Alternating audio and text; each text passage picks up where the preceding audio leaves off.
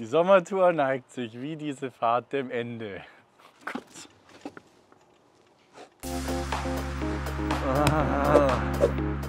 Die letzten knapp zweieinhalb Wochen war ich auf Sommertour durch Cyberland und die letzten Stops haben mich zum einen nach Heilbronn geführt. Dort habe ich mich bei den Campus Founders mit HF Solutions ausgetauscht, einem Startup, die im Prinzip eine große, intelligente Schnittstelle bauen, damit die ganzen Daten, die bei Bestellungen, aber auch Rechnungen und so weiter ausgetauscht werden, eben auch immer in dem Format ankommen und rauskommen, wie sie rauskommen sollen und dass nicht mehr alles immer händisch übertragen werden muss. Coole Sache, die gerade unseren Mittelstand extrem entlasten kann oder unseren Mittelstand als potenzielle große Kundengruppe hat. Dann war ich noch bei DXC, einem ja, globalen Player, der bei uns auf der Hub in Böblingen sitzt.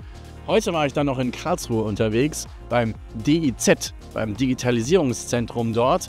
Und wir hatten einen guten Austausch darüber, wie wir nicht nur dafür sorgen können, dass der DSGVO-Fehler nicht nochmal passiert, also nicht alle vor Angst erzittern, nur weil es jetzt klare Regeln auch für KI gibt, sondern dass die Mittelständler, unsere KMUs, den AI-Act als das wahrnehmen, was er ist, eine klare Weichenstellung, Rechtssicherheit und in sehr vielen Fällen überhaupt keine Einschränkung fürs Ausrollen von KI-basierter Technologie in ihrem Arbeitsalltag. Das war super cool, mit denen zu sprechen, die eben genau das versuchen, das Matchmaking von Innovation und Mittelstand in Karlsruhe auszurollen. Und jetzt, jetzt bin ich wieder zurück hier in meinem Wahlkreis in Rutesheim beim Ortsverband von Bündnis 90 Die Grünen, beim Sommerfest hier.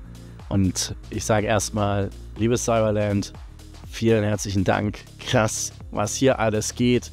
Krass, was hier alles getüftelt wird, was an Innovationen auf den Weg gebracht wird, gegründet wird und wie hier an der Zukunft gebaut wird und diese vor allem heute schon gebaut wird.